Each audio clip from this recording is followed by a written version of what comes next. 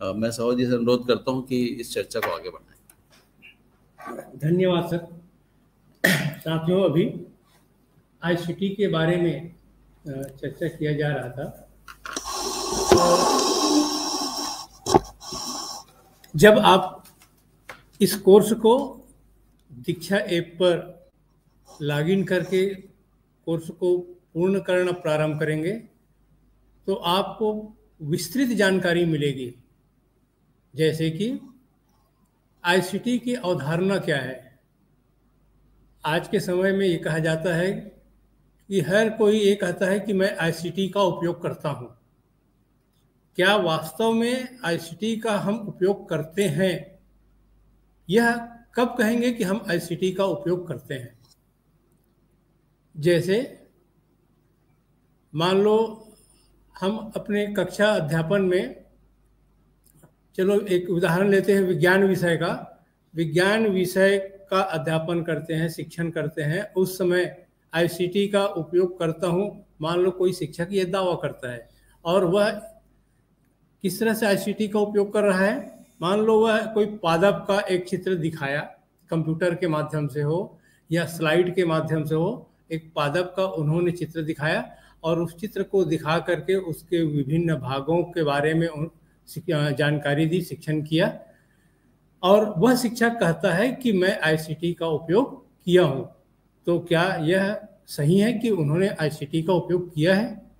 तो ऐसी बहुत सारे बातें इस कोर्स में आपको मिलेगा। और इसका जवाब है कि नहीं, वह शिक्षक आईसीटी का उपयोग नहीं किया है। तो कब कहा जाएगा कि वो शिक्षक आईसीटी का उपयोग करेंगे? वो कौन कौन से बिंदु होंगे? जिनका उपयोग करने के बाद आ, हम कह सकते हैं कि हम आईसीटी का उपयोग कर रहे हैं। तो एक दो तीन बिंदु तो ये है कि स्लाइड दिखाने से ही आईसीटी का उपयोग नहीं होता है। स्लाइड बनाइए बना करके स्लाइड का आदान प्रदान करें केवल दिखा दिए और चल दिए। तो नहीं स्लाइड बच्चों के पास जाना चाहिए। चाहे किसी भी माध्यम में चाहे व्हाट्सएप ग्रुप के माध्यम से जाना चाहिए चाहे मेल के माध्यम से जाना चाहिए। या डायरेक्ट जाना चाहिए। और उसके बाद हम स्लाइड को हम मीडिया में भी डाल सकते हैं और उसके बाद उस स्लाइड का, उस पिक्चर का हमारे पास प्रत्युत्तर आना चाहिए।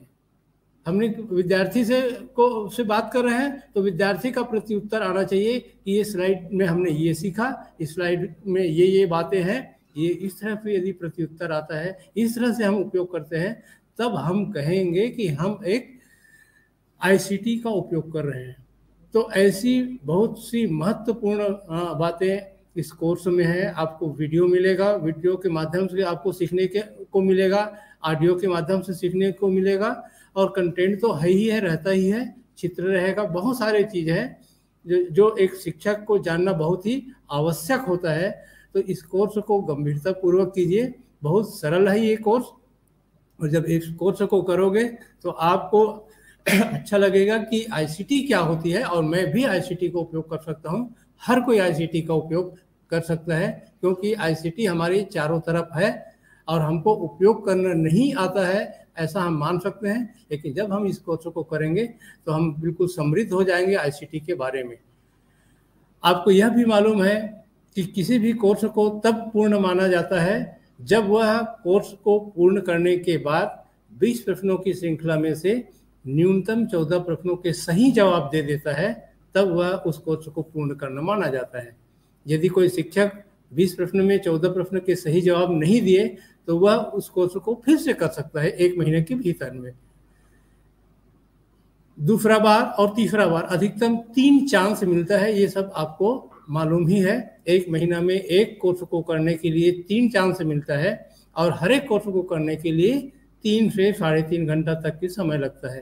तो हमारे पास एक महीना का समय रहता है और हमको दो कोर्स करना होता है और इन दो कोर्स को करने के लिए हाँ हमारे पास समय ही समय है। तो हम हम आप सबसे अनुरोध करेंगे कि बहुत जल्दी से इस कोर्स को कंप्लीट करें और ऑनलाइन कोर्स पूर्णता की ई सर्टिफिकेट प्राप्त करें। आइए अब हम इस पूरे कोर्स के अंतिम कोर्स पर चर्चा करेंगे, जिसको हम कोर्स बारह कहते हैं। ये है toy based pedagogy, T B P कहते हैं। तो आइए खिलौना आधारित शिक्षण के बारे में जानकारी प्राप्त करने के लिए स्वाति दास मैडम और प्रीति सिंह मैडम आपसे चर्चा करेंगे। दूर हो है आप इधर आ जाइए।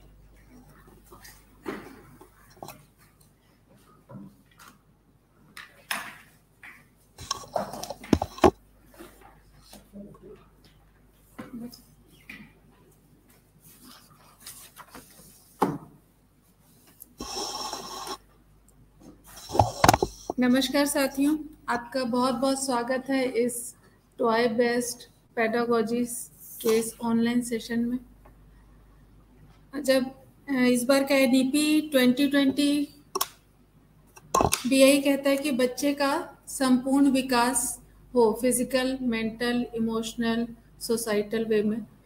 तो जब हम इस तरह के अवधारणा के साथ चलते हैं तो सबसे पहले दिमाग में आता है कि इन पूरी चीज़ों का विकास एक बच्चे में हम कैसे कर सकते हैं? उसका एक अच्छा सा माध्यम है खेल और खिलौने। क्योंकि बच्चा जब पैदा होता है तो वो हर उस चीज़ को खिलौना बना लेता है जिससे वो खेलता है या कुछ एक्टिविटी करता है। हर हर मतलब हर बच्चा स्वभाव से उत्सुक होता है।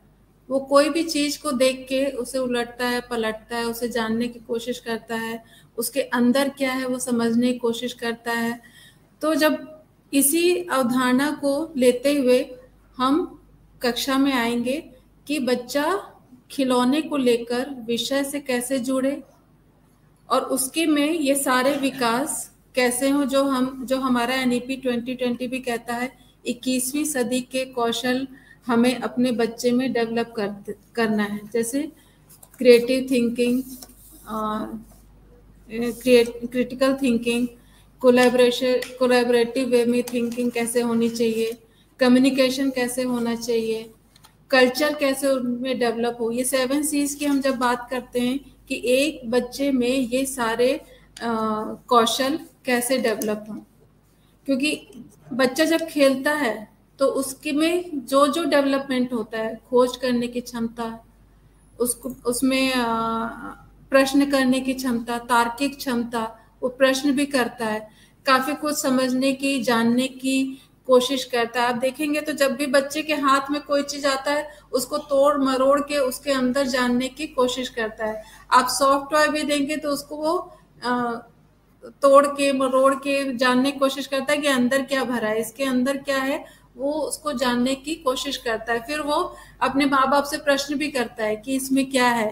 किसी में रुई भरा है किसी में सरसों भरा है तो स्थानीय किसी में आ, सेमल की रुई है किसी में नॉर्मल रुई है किसी में सरसों भरी है तो बच्चा अपने प्रश्नों से जानने की कोशिश करता है, क्योंकि वो जिज्ञासु स्वभाव उसका है ही है बचपन से। तो इस तरह के जब बच्चे का जो उत्सुकता है, उसको जब हम उसी माध्यम से जब हम विषय को जोड़ते हैं तो बच्चा अपने विषय से भी सीख जाता है, अपने विषय को समझता है और उसके माध्यम से वो अपनी संस्कृति से जुड़ता है। अपनी स्थानीय भाषा से जुड़ता है, अपनी स्थानीय बोली से जुड़ता है। ऐसी बहुत सारी चीज़ें जो बच्चा खेल खिलौने के माध्यम से सीखता है, करता है। तो हमारा शिक्षकों का क्या उद्देश्य, क्या होना चाहिए कि हम बच्चों को ऐसा माहौल दे कक्षा में कि बच्चा खेल खेल में सीखे? जैसे हम कुछ मिट्टी दे सकते हैं, कुछ कागज़, कलर कागज़ दे दीजिए, कुछ स्केच पेन दीजिए, कुछ पेंसिल पेन दे दीजिए और उनको खुला छोड़ दीजिए कि बच्चे अपने मन से सीखें। तो वो बच्चा देखिएगा जो प्रकृति में चीज़ें उसको दिखाई देती हैं। अगर आप देंगे कागज़ पेन तो क्या बनाता है अपने मम्मी, पापा, भाई, बहन या आसपास जो भी पेड़ है, पौधे हैं, घर है तो प्रकृति में जो वो चीज़ें देखता है, आप देखिए, उसी को वो खिलौना समझता है और उसी को आप देखेंगे तो वो अपने कागज़ पे वो रखेगा बनाएगा या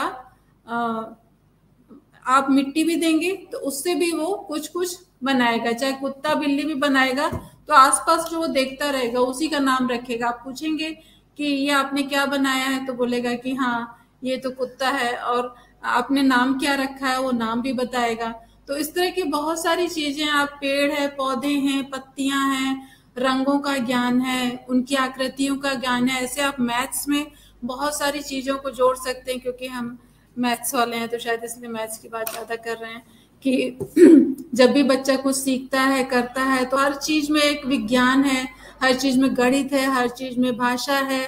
तो हम बहुत सारी कविताओं को, कहानियों को रोल प्ले के माध्यम से, नाटक के माध्यम से हम बच्चों के साथ कर सकते हैं, छोटे बच्चों के साथ कर सकते हैं। और उनकी शुरुआत मेरे ख्याल में एक ब्लेंडेड मोड में होनी चाहिए कि थोड़ा सा हम स्थानीय भाषा बोली भी लें और थोड़ा सा हम नॉर्मल अपनी जो भाषा है उसको लें, हिंदी जो नॉर्मल बोलते हैं। तो इससे बच्चा क्या होगा कि एकदम से वो ऐसा नहीं लगेगा कि कुछ नए वातावरण में आया है। थोड़ा सा स्थानीय भाषा को लेते हुए, स्थानीय खेलों को लेते हुए, स्थानीय संस्कृति को लेते हुए हम अपने विषय को अगर जोड़ें चाहे वो गणित हो चाहे हिंदी हो चाहे सामाजिक अभी तो सामाजिक विज्ञान बुनियादी स्तर पे शायद नहीं है ना? स्वाति में हम्म। तो ऐसे हम बहुत सारी चीज़ों के साथ खेल खिलौने के माध्यम से हम अपने बच्चों को विषय पढ़ा सकते हैं। आगे के सेशन के लिए मैं डॉक्टर स्वाति दास मैडम को जो कि हमारे डाइट रायपुर में है आमंत्रित करना चाहूँगी और उनसे जानना चाहूँगी कि कैसे हम खेल और स्थानीय भाषा और संस्कृति और विचार को हम अपने खेल के माध्यम से कैसे विकसित कर सकते हैं अपने बच्चों में।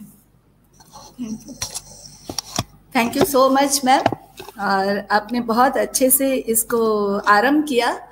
और जैसा कि आपने कहा, इसके पहले कि मैं सब्जेक्ट में आऊँ एक बार मैं अपने शिक्षक गणों को ये बताना चाह रही हूँ कि ये जो कार्यक्रम चल रहा है वो निष्ठा के अंतर्गत चल रहा है। निष्ठा मतलब national initiative for school heads and teachers और होलिस्टिक एडवांसमेंट। तो स्कूल हेड और टीचर्स दोनों के लिए है ये और उनका पूरा होलिस्टिक एडवांसमेंट है। तो इसमें कोर्स ट्वेल्व में आपको क्या सीखने को मिलेगा, क्या पढ़ने को मिलेगा और इससे आप बच्चों के लिए क्या कर सकते हैं, इस बात की जानकारी आपको यहाँ पर दी जा रही है। अब मैं आती हूँ मैम के साथ, जहाँ से मैम ने छोड़ा कि कोर्स ट्वेल्व जो है कोर्स ट्वेल्व अपना जो है, बुनियादी स्तर के लिए खिलौना आधारित शिक्षण, जिसको शॉर्ट में टी बी टी कह देते हैं टॉय बेस पेडागोजी तो इसमें मुझे एन ई ट्वेंटी ट्वेंटी में ये पोर्शन सबसे अच्छा लगा। कौन सा? कि टॉय बेस पेडागोजी तो मैम जैसे बात कर रही थी, वहीं जाती हूँ कि जो कोई छोटा बच्चा रहता है, उसके सामने कोई भी चीज़ आती है तो उसको वो खेलने लगता है, उससे को खिलौना बना लेता है। तो मेरे ऐसा कहते ही मेरे दिमाग में एक छोटा सा बच्चा आने लगा, जिसको अपन इन्फेंट्स बोलते हैं या नवजात शिशु। जब वो कुछ महीने का ही होता है या कुछ दिनों का भी होता है मतलब जब वो अपने हाथ पैर हिला पाने में सक्षम हो जाता है, उस एज की बात कर रही हूँ दो तीन महीने के बच्चे की, तभी भी आप उसकी तरफ़ हाथ बढ़ाइए या कुछ चीज़ दीजिए तो वो तुरंत हाथ बढ़ा के उसको खेलने लगता है। और कुछ, उस समय उसके सिर्फ़ एक ही इंद्री डेवलप हुई रहती है, वो रहता है उसका मुँह। तो वो सारी चीज़ें इसीलिए मुँह में भी ले जाता है। उसका रीजन ये है कि वो मुँह में ले जाकर उसको चेक करना चाहता है कि वो कैसी है, क्योंकि उस समय तक उसकी बाकी ज्ञानेन्द्रियाँ जो रहती है, वो उतनी डेवलप नहीं रहती। और फिर उसके बाद यदि मुँह में वो ले गया किसी चीज़ को तो बड़ी देर तक उसको चलाता रहता है, मुँह में चबाने की कोशिश करता है। वो इस समय उसको खोजते रहता है, परखते रहता है।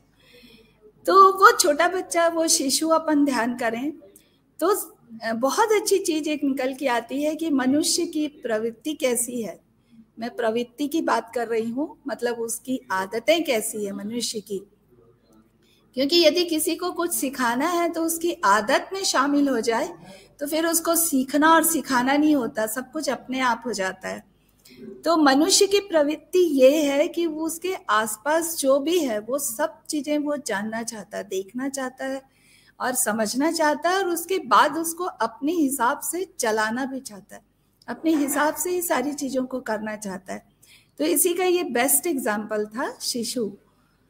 तो इसी को आ, किसी ने शायद पकड़ा है और इसलिए इसको इसमें कोर्स में डाला गया है। किसमें? खिलौना आधारित शिक्षण में। कि यदि हम बच्चे को अच्छा एक चीज़ और अपन ध्यान देंगे कि ये जो कोर्स है, ये वन टू फाइव पढ़ाने वाले हमारे जो शिक्षक साथी गण हैं, उनके लिए है। तो वन टू फाइव में जो बच्चे हैं, और इसको अब वन टू फाइव नहीं कहना चाहिए, बल्कि बुनियादी स्तर और प्री प्रेपरेटरी स्टेज यानी कि जो अपनी बुनियादी कक्षा है, उससे लेकर K G one K G two, फिर क्लास टू तक जो जा रहा है उसके लिए और थ्री टू फाइव। तो ये पूरे ग्रुप के लिए, तीन स्तर के लिए इसको डिज़ाइन किया गया है। तो उन तीनों स्तर पे जो बच्चे होते हैं, वो बहुत ज़्यादा उम्र वाले नहीं होते, यानी वो बहुत बड़े नहीं होते एज वाइज तो वो उनकी जो एज है, उसमें उनका खिलौनों के साथ एक भावनात्मक कहना चाहिए संबंध होता है, लगाव होता है। तो इसी बात का फ़ायदा शिक्षाविदों ने उठाया है। क्या कि बच, बच्चा आरंभ से ही सारी चीज़ों के साथ खेलना चाहता है तो क्यों ना उसकी पढ़ाई में इसको शामिल कर दिया जाए। बस इतनी सी ही परिभाषा है इसकी खिलौना आधारित शिक्षण की। शब्द बड़े लगते हैं जब उसके साथ शिक्षण जुड़ जाता है। लेकिन इसमें बहुत सरलता से सारी चीज़ों को डाला गया है तो इसको अपन देखते हैं। ये तो इसके टॉपिक की बात हुई तो नेक्स्ट स्लाइड स्लाइड में अपन देखेंगे कि इसके क्या उद्देश्य हैं, जो शिक्षाविदों ने निर्धारित किए हैं। कि इस कोर्स को करने के बाद या पहले यदि कुछ पता रहे कि हम क्या करने वाले हैं तो हम थोड़ा अपने हिसाब से चीज़ों को छांट के नोट डाउन करते हैं, है ना?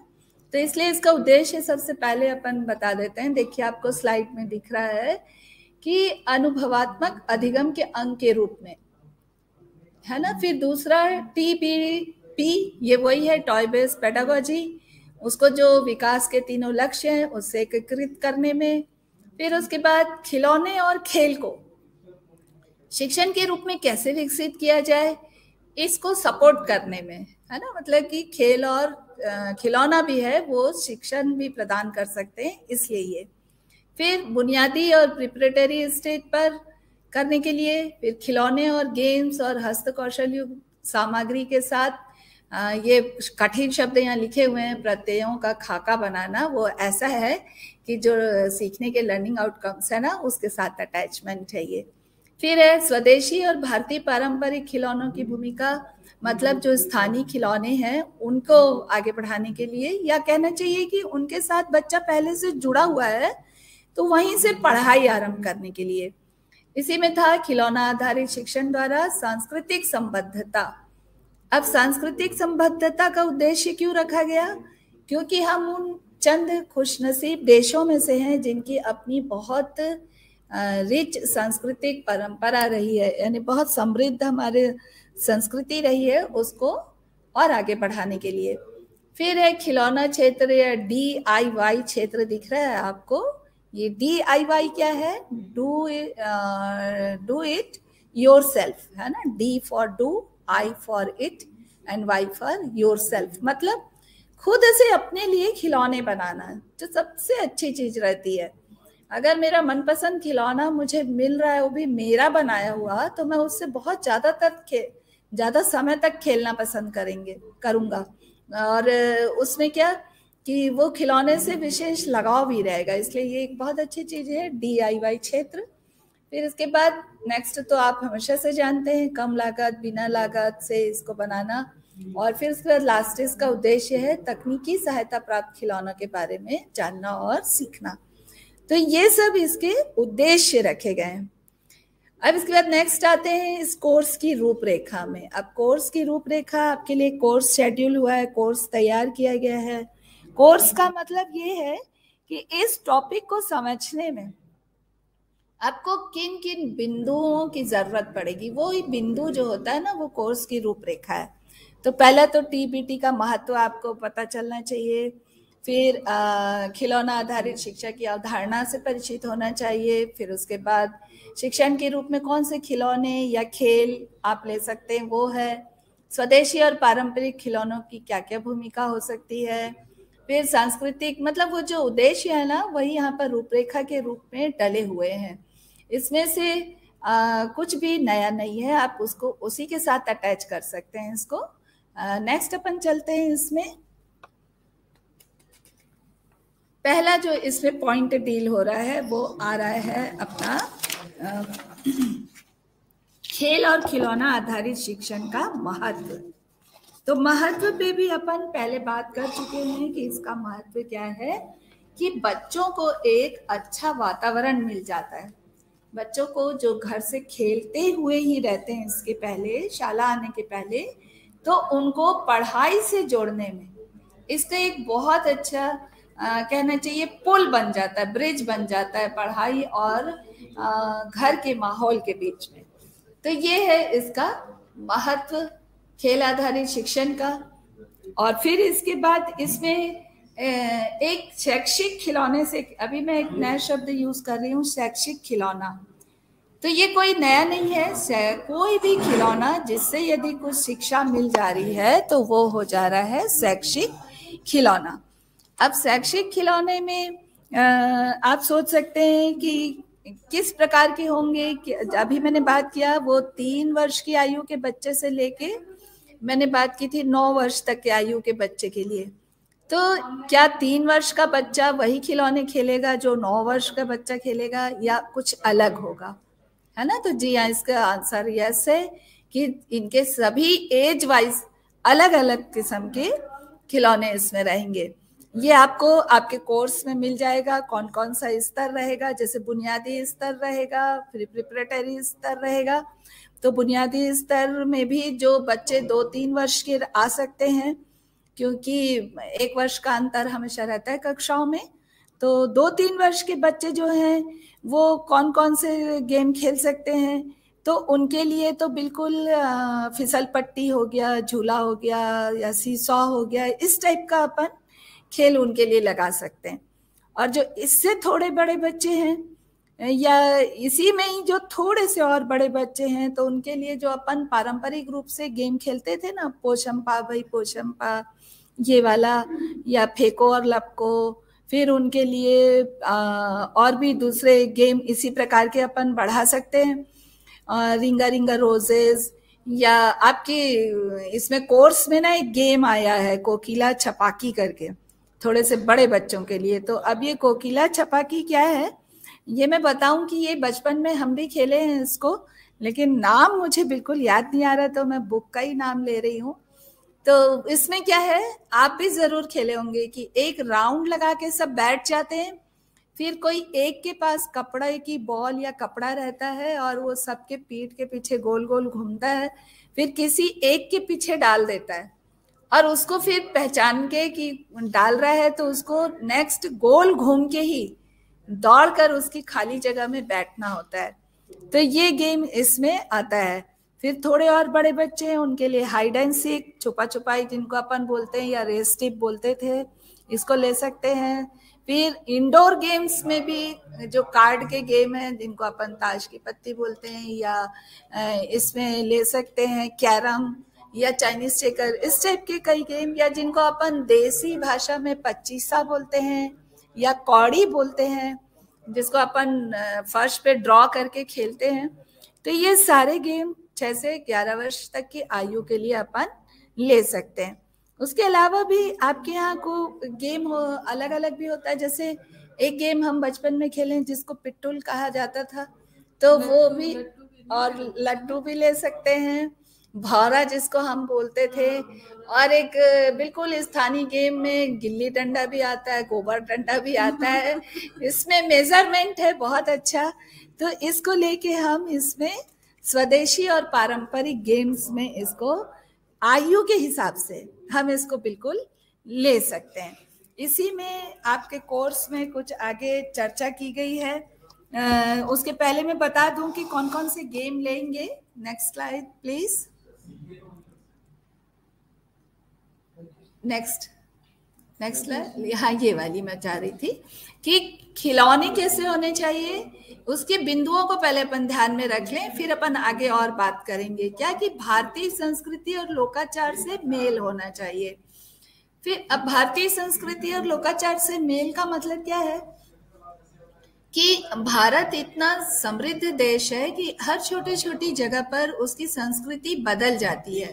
अब जैसे यदि मैं गुजरात में बनने वाली गुड़िया को बस्तर में यूज़ करूँ तो उसको समझ में नहीं आएगा कि ये इतना ऐसे सजे धजे और इतने सारे आभूषण और ये इस तरीके के आभूषण और इस तरीके का ड्रेस क्यों पहना हुआ है? वो बिल्कुल सिर ढका हुआ और यूँ, त्यों क्यों है? जबकि बस्तर की संस्कृति के अनुसार उनकी ड्रेस अलग है। तो उसकी गुड़िया अलग होनी चाहिए। वहाँ जो ड्रेस पहना जाता है वो रहना चाहिए। इसी प्रकार पंजाब में अलग होना चाहिए। इसी प्रकार हर जगह। तो वो जो वहाँ का लोकल स्थानीय जो कल्चर है उससे उसमें क्या होना चाहिए? उसका मेल होना चाहिए। यहाँ की वेशभूषा से मेल खाता हुआ होना चाहिए। फिर उसके बाद क्षेत्र की संस्कृति के बारे में जानने के लिए क्षेत्र की संस्कृति से जुड़ाव होना चाहिए। तो इसमें भी वही है जैसे रसोई के बर्तन अपन ले रहे हैं तो हर जगह रसोई अलग अलग तरीके से बनती है। आ, मतलब फॉर एग्ज़ाम्पल हम ले लें छत्तीसगढ़ के ही संदर्भ में तो जहाँ पर जो चीज़ होती है उसी चीज़ का भोजन मुख्य रूप से किया जाता है है ना? जैसे कि मक्का कहीं पर हो रहा है अपने छत्तीसगढ़ में तो वहाँ पर मक्के के बने हुए व्यंजन स्थानीय भी आएँगे। जैसे मक्के के दानों को उबाल लिया जाता है, उसको पीस लिया जाता है, या मक्के के दानों को कच्चा कूट लिया जाता है, और फिर उसके बाद उससे कुछ पकवान बनाए जाते हैं। तो ये दूसरे जगह पे जहाँ मक्का नहीं होता, वहाँ पर नहीं होगा, है ना? तो ये इसको क्षेत्रीय संस्कृति से जुड़ा हुआ होना चाहिए। फिर उसके बाद इस पॉइंट पे तो मैं बात कर रही थी कि बच्चे की आयु, विकास और उसकी सुरक्षा के अनुकूल होना चाहिए। फॉर एग्ज़ाम्पल अभी मैं जो बात कर रही थी, वो पीठ के पीछे रुमाल लेके दौड़ने वाली गोल गोल यदि हम बिल्कुल छोटे बच्चों के साथ, बुनियादी स्तर के बच्चों के साथ ये खेल खेले तो वो गिर सकते हैं। अव्वल तो वो दौड़ नहीं पाएँगे गोल घेरे में। दूसरा दौड़ भी लिए तो गिरने का बहुत डर है उनको चोट लगने का डर है। तो ये अपन उनको ध्यान में रखेंगे। और यदि हम 11 वर्ष के बच्चे को या 9 वर्ष के बच्चे को बोलेंगे कि तुम फिसल पट्टी पे ही फिसलते रहो तो उसके लिए वो उतना अट्रैक्टिव नहीं रहेगा उसके लिए उतना आकर्षक नहीं होगा। तो इस प्रकार इसको ध्यान में रख के हमको आ, खेल चुनना है और खिलौने भी चुनना है। ठीक? नेक्स्ट स्लाइड फिर इसके बाद देखिए, इसमें है कि खिलौने में और क्या चीज़ अपने को मिल सकती है? तो उसमें बहुभाषिकता, समावेशन और सांस्कृतिक संबद्धता की बात की जा रही है। इसमें क्या है कि जो हड़प्पा और मोहन जोदड़ो की खुदाई की गई थी, यानी कि पाँच हज़ार वर्ष पहले भी हमारे भारत में खिलौने का क्या था? स्थान था समाज में। वहाँ के कुछ खिलौने निकले हैं जिनको कई संग्रहालयों में सुरक्षित रखा गया है। तो मतलब कहने का कि आ, उनके बारे में भी हम बता सकते हैं या उनके जैसे भी हम निर्माण कर सकते हैं। जैसे छत्तीसगढ़ में एक त्योहार ही है खेल के नाम पे ना जिसको अपन पोला के नाम से जानते हैं जिसमें मिट्टी के कुछ खिलौने स्पेशल रूप से बनते हैं। बाकी तो बनते ही हैं लेकिन कुछ स्पेशल रूप से बनते हैं जिसमें एक नागर बैला भी होता है, बैल, वो ज़रूर बनता है। उसके नीचे चार चक्के लगे रहते हैं, मिट्टी का होता है और उसको रस्सी से खींचा जाता है। ये सिर्फ़ छत्तीसगढ़ में होता है, जहाँ तक मुझे पता है। दूसरी जगह पे ये त्योहार इस तरीके से नहीं होता। फिर उसमें मिट्टी का ही एक जाता बनाया जाता है। जाता यानी कि चक्की। तो वो भी सिर्फ़ छत्तीसगढ़ के इस हिस्से में ही होती है। तो ये जो कुछ चीज़ें हैं, और भी उसमें स्पेशल खिलौने बनते हैं। फिर उसके बाद एक गेड़ी चढ़ने की बात होती है। गेड़ी का निर्माण किया जाता है। ये भी छत्तीसगढ़ की ही संस्कृति में है सिर्फ़। उसको फिर देखिए, उसमें कितनी विविधता है। नारियल का जो, नारियल है जो, उसका जो खोटली बोलते हैं, जिसको खोल, उसको दो बराबर हिस्सों में तोड़ा जाता है और उसके छेद में से रस्सी फंसा के उसको फिर पैर में अटका के चलते हैं। मतलब खड़ाऊ जैसे अटकाई जाती है ना पैर में वैसे ही। या फिर उससे लेके छह फीट ऊँची गेड़ी भी बनाई जाती है बाँस की। तो ये क्या है? ये हमारी संस्कृति में जुड़ा हुआ है। गेड़ी दौड़ होती है। हमारी संस्कृति में है ये कि अलग अलग साइज़ की गेड़ी रहती है और उसमें दौड़ लगाई जाती है। ये इस त्योहार में ही होता है। तो ये मुझे नहीं लगता कि नए पीढ़ी के जो हर जगह बच्चे हैं वो इनसे परिचित होंगे। तो इसमें हम इन खिलौनों के माध्यम से इनसे उनको अपनी संस्कृति के बारे में बता सकते हैं, अपनी संस्कृति को आगे बढ़ा सकते हैं। तो ऐसा हमको चुनाव करना है अपने खिलौने और उसके खेल का। इसमें कुछ आगे और चर्चा करते हैं। देखिए, इसमें अपने भारत के ही अलग अलग राज्यों के कुछ खिलौनों के बारे में आपके कोर्स में दिया गया है। यहाँ तो मैं चुनिंदा एक दो चीज़ों की चर्चा कर रही हूँ। जैसे ये है ढिंगली। ये वर्ड वहाँ का है।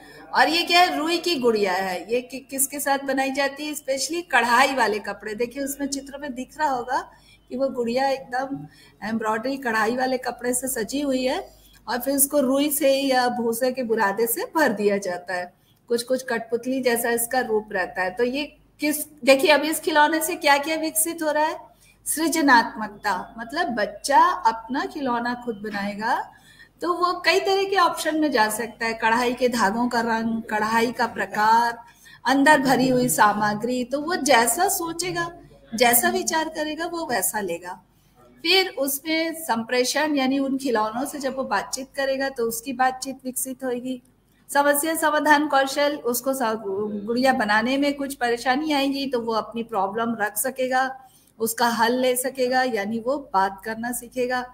सूक्ष्म गत्यात्मक कौशल, यानी कि वो छोटा छोटा इधर उधर जाएगा, चीज़ें लाएगा, बटन लाएगा, धागे लाएगा, ऊन लाएगा, भले कक्षा में उपलब्ध रहेगा, लेकिन वो इन सब चीज़ों को लेने जाएगा, रखेगा, संभालेगा तो उसकी गतिविधि होगी, यानी फ़िज़िकल एक्टिविटी फिर सामाजिक भावनात्मक कौशल मतलब वो एक कैरेक्टर को बना रहा है तो वो उस कैरेक्टर मान लो उसने गुड़िया एक लड़की की बनाई है तो उसके साथ वो और जो लगेंगे परिवार के और सदस्य तो वो उसका अपना एक आ, कहना चाहिए सोसाइटल डेवलपमेंट उसका होगा और वो समझेगा रिश्तों को। तो इस प्रकार ये है। आगे लेंगे प्लीज़ इसमें रसोई करके शब्द है। ये बर्तन का सेट है। बर्तन का सेट हर जगह अलग अलग रहता है। लकड़ी का मिट्टी का उसके हिसाब से इनको किया जाता है। फिर इसी में है कैलाइडोस्कोप। ये भी पारंपरिक रूप से भारत में आरंभिक खिलौनों में से एक है। फिर इसी के साथ अपने को क्या करना है? ऐसे ही कई खिलौने आपके इसमें दिया गया है, रिंग सेट पजल और आगे भी, और आप अपने मन से भी बना सकते हैं। और कुल बना के अपने को क्या बनाना है? डीआईवाई खेल क्षेत्र का सृजन करना है। मतलब कि डू इट योर सेल्फ एक जगह बनानी है, जहाँ पर वो खुद से अपने लिए अपने बनाए हुए खिलौनों को रख सके, उसकी कच्ची सामग्री उपलब्ध हो, बने हुए खिलौनों को लटकाने और सजाने के लिए उसके पास एक जगह हो और उसके बाद बच्चों जब वो खिलौने बना रहे हैं तो उसके चित्र वहाँ लगे हो मतलब उसकी फ़ोटो और फिर उसके बाद उसके पास हर चीज़ को रखने के लिए मतलब शिक्षक गणों को क्या करना है, कक्षा में एक ऐसा कॉर्नर बनाना है, जहाँ चाहे टोकरी में हो, चाहे टेबल में हो या आप एक दरी बिछाकर उसके ऊपर रख सकते हैं। और जहाँ पर उसकी सारी चीज़ें अलग अलग उसको रखी हुई मिले, जहाँ से वो चीज़ें छाट के उठा सके और उसको फिर काम में ले सके। तो उसको सारी कच्ची सामग्री वहाँ पर उपलब्ध हो। फिर उसके बाद इसमें आप आगे जा रहे हैं, खिलौना क्षेत्र पे तो अपन बात कर लिए। फिर क्या है गेमिफाइड इन कंटेंट का उपयोग इसको चारों भाग में बांट के आप इसको डिजिटल सामग्री जो आपके इसमें ना इसकी वेबसाइट दी हुई है कोर्स पे क्या I T F I T F digital games dot N C R T dot org dot in आपके कोर्स में है, यहाँ पर लिख नहीं रहा है तो आप इसको नोट कर सकते हैं। I T F digital games dot N C R T dot org dot in इस पे आप जाके इसको कर सकते हैं। फिर इसके बाद इसमें आता है कि सारे खिलौने और गेम्स को, सारे खेल और खिलौनों को आपको किसमें जोड़ना है?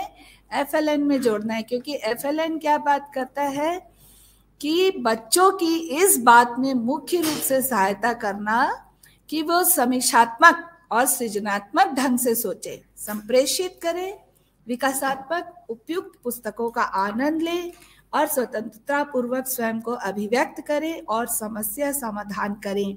ये जो लाइन में पढ़ रही हूँ ना, ये आपको एफ़ एल एन के उसमें मिल जाएगी सेम ये लाइन तो समीक्षात्मक और सृजनात्मक ढंग से सोचना मतलब कि किसी भी चीज़ जो, कोई भी चीज़ जो उसके सामने आ रही है, उसको वो अपनी एक टीप दे सके, उसको अपने एक लाइन बता सके उसके बारे में।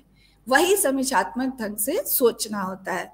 और सृजनात्मक ढंग से सोचना मतलब ये कि जो चीज़ उसके सामने आई है, उससे वो क्या बना सकता है?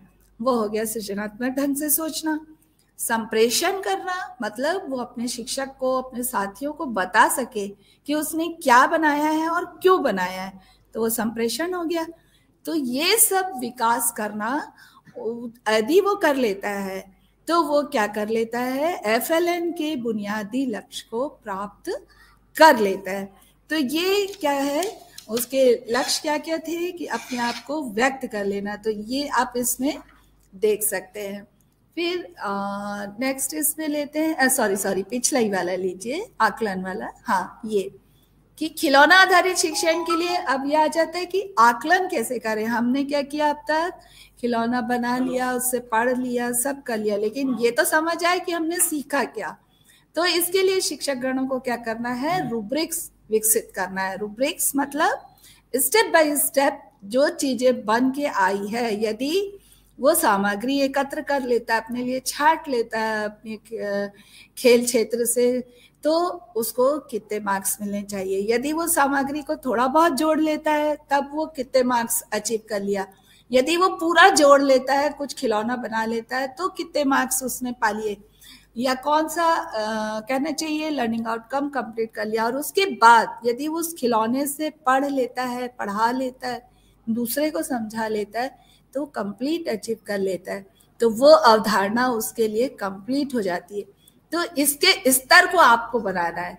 फिर उसके बाद, भाई पेरेंट्स सोचेंगे, अभिभावक सोचेंगे कि ये कैसे सही कर रहा है कि नहीं कर रहा है तो उनको फिर फीडबैक देने के लिए आपको क्या है, कुछ वीडियो रिकॉर्ड कर सकते हैं आप, या उसकी कुछ फोटोग्राफ्स ले सकते हैं जो आप उनको दिखा सकते हैं। तो इस प्रकार से हम उसके आकलन के विभिन्न चरणों को कर सकते हैं। ठीक है? फिर इसके बाद आ, आ, इसको पूरी तरीके से अचीव करने के लिए एफएलएन जो बोलता है कि हर बात में अभिभावक और परिवार को सम्मिलित करना है। तो इस टॉय बेस्ड पेडागोजी में तो बिल्कुल अनिवार्य ही हो जाता है कि अभिभावक और परिवार उसमें शामिल हो क्योंकि जब बच्चा कुछ बनाएगा और उसके बाद उसके घर के लोग भी उसको देखेंगे और उससे वो भी सीखेंगे तो बच्चे का क्या हो जाता है? एक तरीके से रिवीजन हो जाता है। जो अपन होमवर्क देते हैं ना बच्चे को रिवाइज करने के लिए, दोहराने के लिए तो यदि पालक उसमें शामिल है तो वो उसको और अच्छे से कर सकता है। और फिर उसके बाद हो सकता है कि बच्चे ने कुछ ऐसा निर्माण किया हो जो उससे परिवार की संस्कृति से संबंधित हो या उसके समाज विशेष से संबंधित हो तो उसको फिर, उसके जो अभिभावक है, वो उसको और पर्सनलाइज्ड कर सकते हैं। मतलब उसको और अच्छी तरीके से बता सकते हैं कि इस समाज का ये जो चीज़ आपने बनाई है, ये इस तरीके से काम करती है या ये उसका उद्देश्य है। तो इस प्रकार अभिभावक भी उससे जुड़ जाए तो फिर वो क्या हो जाता है, खिलौना आधारित शिक्षण हमारा कंप्लीट हो जाता है।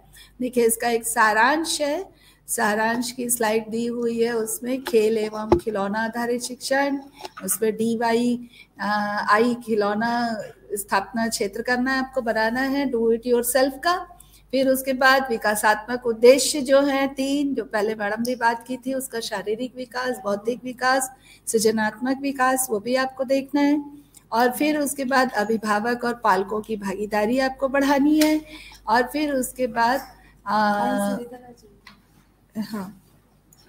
तो मैं समय को देखते हुए यहीं पर समाप्त कर रही हूँ। जो बातें बच जाती है वो आप कोर्स में देख सकते हैं। Thank you thank you madam आपने अभी टाइप बेस्ड पेडागाजी पर कोर्स में क्या क्या बातें हैं उन पर विस्तृत जानकारियाँ दी। अब इसके बाद पूरे शिक्षक साथी इस कोर्स को आसानी से कर सकेंगे। उनको उस कोर्स को करने के लिए सुविधा होगी। और इस कोर्स को करने के लिए तीन अवसर मिलता है। एक बार फिर से आपको मैं रिपीट करना चाहता हूँ। पूरे कार्यक्रम के लिए कोर्स जैसे ही निष्ठा 3.0 प्रारंभ हुआ, दो महत्वपूर्ण बातें थी, जिसमें से पहला है, एक टेक्निकल जो कार्य होते हैं। टेक्निकल कार्य में क्या क्या बातें आती है, कैसे उनके उनका समाधान होता है, ये सारे चीज़ जानकारी देने के लिए हमारे एससीआरटी से जो इस पूरे कार्यक्रम को टेक्निकल सपोर्ट दिए हैं, पूरे कोर्स को लॉन्च किए हैं और वो किस तरह से काम किए हैं, हम तंबोली जी हैं, संतोष तंबोली जी। तो हम तंबोली जी से आग्रह करते हैं कि वो आज इस पूरे कोर्स के समाप्ति के समय पूरे टेक्निकल जानकारियाँ आपके सामने प्रस्तुत करेंगे। धन्यवाद, सर। मैं बहुत दिनों बाद आपसे मुखातिब हो रहा हूँ। हमारे निष्ठा सेकेंडरी 2.0 में जो हमारा रजिस्ट्रेशन है और कोर्स जो कंप्लीशन है, वो लगभग नब्बे हज़ार नाइन्टी परसेंट के आसपास है। लेकिन फ़र्स्ट फ़र्स्ट ईयर फ़र्स्ट पहले साल में जब आपने किया था, निष्ठा 1.0 तो एक लाख बत्तीस हज़ार टीचर में से एक लाख आठ हज़ार शिक्षकों ने कंप्लीट किया था। लेकिन निष्ठा 3.0 के साथ में क्या हो रहा है कि बयासी हज़ार शिक्षक हैं और हमारे पास अभी कुल मिला के बावन हज़ार ही पंजीयन है और उतने लोग ही कर रहे हैं। मेरा निवेदन है कि बाकी सारे लोगों को बताइए कि ये कोर्स करना अनिवार्य है और आपका मॉनिटरिंग भी हो रही है। तो वो आपके जो परफॉर्मेंस है, उसके साथ लिंक होगा और जो जो कोर्स नहीं कर रहे हैं, उनके विरुद्ध कार्रवाई भी होगी। तो अभी ये लास्ट मौका है 11 और 12 कोर्स का। तो आपसे निवेदन है कि जो लोग नहीं कर पा रहे हैं या नहीं कर रहे हैं, उनको बोलिए कि सारे के सारे 12 11 और 12 का करें। जो छूट गया होगा, उनके लिए नेक्स्ट मंथ में हो सकता है भारत सरकार से अनुमति लेके हम दोबारा खोलेंगे पूरे एक से बारह तक का कोर्स और ऐप में जैसा कि आप करते आइए हैं, पिछले साल भी आपने 18 कोर्स किया था, इस बार भी 12 कोर्स कंप्लीट हो गया है। तो सर्चिंग के लिए ज़्यादा बताने की ज़रूरत नहीं है, आप एप्लीकेशन दीक्षा ऐप में जाएँगे और आपका C G under score F L N under score जो कोर्स नंबर ज़ीरो ग्यारह और बारह खोलेंगे तो खुल जाएगा वो, और वहाँ से कंप्लीट होता है। कोर्स करने से, कोर्स करने के लिए आपका देखिए, आप अभ्यस्त हो गए हैं तो बहुत अच्छे से यदि टाइम देंगे तीन चार घंटे पर डे तो तीन से चार दिन में कंप्लीट हो जाता है। केवल जो चेंजेस किया गया है, इसमें वो क्वेश्चन में है कि रैंडम अभी यूट्यूब से या इधर से उधर से देख के कर नहीं सकते, ढंग से पढ़ेंगे तो ही सर्टिफिकेशन में पास हो पाएँगे सेवेंटी परसेंट पासिंग अनिवार्य है। तो वो ध्यान रखिएगा। और जितने सारे दोस्त आपके नहीं कर रहे हैं या किसी कारण से भी छूट गए हैं, उनको बोलिए कि एटलीस्ट इस वाले कोर्स को हर हालत में कंप्लीट करें। अभी पिछले महीने सचिव महोदय का कलेक्टरों को पत्र भी गया है और वो भी अब मॉनिटर करना स्टार्ट कर दिए हैं और डेटा इकट्ठा कर रहे हैं कि कौन को किसने किसने किया है और किसने किसने नहीं किया है। दूसरा प्रोफ़ाइल सेक्शन में जाके अपना डेटा ज़रूर शेयर करेंगे। डेटा शेयर करने से आपका मोबाइल नंबर और ईमेल एड्रेस हमारे पास आता है। वो नहीं कर पाने से नहीं आ पाता है। भारत सरकार से बात हो रही है कि वो सारा डेटा हमें दे दें। तो यदि डेटा एक बार आ जाएगा तो ट्रेस हो जाएगा एग्जैक्टली कि किसने किया और किसने नहीं किया। तो मेरा केवल एक ही निवेदन है कि ये कोर्स को करिए, सारे कोर्सेज अच्छे हैं और हम ट्रैकिंग करेंगे। कोई तकनीकी दिक्कत आता है तो हमारा जो ईमेल एड्रेस दिया हुआ है कोर्स के आखिरी में, उसमें मेल कर दीजिए तो हम उसको सॉल्व कर लेंगे। या आपके डिस्ट्रिक्ट प्रोग्रामर हैं वहाँ पे हर ज़िले में, उनसे उनसे कहिए कि वो उनके थ्रू से आप हम, हमें कांटेक्ट कर सकते हैं या जो आपके जो ग्रुप चलते हैं अलग अलग शिक्षकों के ग्रुप बने हुए हैं, वहाँ भी अपनी समस्याएँ पोस्ट करेंगे तो भी हम उसको सॉल्व कर लेंगे। Thank you Sahu sir. धन्यवाद, सर। तो साथियों, आपसे एक बार पुनः मैं आग्रह करता हूँ, अनुरोध करता हूँ कि हमारे राज्य के कक्षा एक से पाँच तक कक्षाओं में पढ़ाने वाले समस्त शिक्षक और प्रधान पाठक ये कोर्स करें, क्योंकि ये जो कोर्स है, भारत के पूरे राज्य में एक साथ चल रहा है और भारत सरकार पूरे राज्य का मॉनिटरिंग कर रहा है। इस कोर्स को नहीं करने से बहुत सारे नुकसान होंगे। सबसे ज़्यादा नुकसान एक शिक्षक का होगा, जो इस कोर्स को नहीं करेगा तो उसकी क्षमता संवर्धन नहीं हो सकेगी। इसके कारण वह बच्चे को जैसा अध्यापन करना चाहे इस कोर्सों के माध्यम से जो गाइडलाइन मिल, मिलेगा उसके अनुरूप वो अध्यापन नहीं करेगा तो हमारे राज्य के बच्चों का नुकसान होगा। तीसरा हमारे राज्य का नुकसान इस तरह से होगा क्योंकि हम अन्य राज्यों की तुलना में हमारे राज्य का प्रदर्शन कमज़ोर हो जाएगा और हम अन्य राज्यों की तुलना में पिछड़ जाएँगे। तो ये सीधी तरह से हमारा नुकसान दिखाई दे रहा है। तो आप सभी से अनुरोध है सवाल के जवाब दे। अपने दोस्तों को बताइए सभी को बताइए और इस कोर्स को करें। इस माह मार्च माह में कोर्स 11 और 12 को शत प्रतिशत शिक्षक यदि पूर्ण कर लेते हैं तो आगामी माह में जब हम फिर से कोर्स को रीओपन करेंगे भारत सरकार के अनुमति से तो उस समय वो सभी शिक्षक बा, बाकी कोर्स को कर सकेंगे जिससे हमारे राज्य का प्रदर्शन बेहतर होगा। अन्य राज्यों की तुलना में हम अच्छे पोजीशन में रहेंगे, ये मैं आपसे अनुरोध करना चाहूँगा। तो धन्यवाद, जय हिंद। ये नोहर कोहली जी का सवाल था, क्या कोई चौदह प्रश्न का उत्तर नहीं दे पाता है तो क्या उस कोर्स को फिर से कर सकता है? देखिए चौदह प्रश्न का आंसर नहीं दे पाता है तो वो तीन बार मिलता है। तीन चांस मिलेगा, तीनों चांस में यदि चौदह नंबर नहीं आ पाएगा। तो वो फिर इस साल उस कोर्स को रिपीट नहीं कर सकता है। उसको कंप्लीट हम मानेंगे। हमारी तरफ़ से ट्रेनिंग कंप्लीट है। सर्टिफिकेट इशू नहीं होगा उसको। अगले बार कर सकता है। नेक्स्ट ईयर कर सकता है। अगले भी कर सकते हैं। नहीं ओके थैंक यू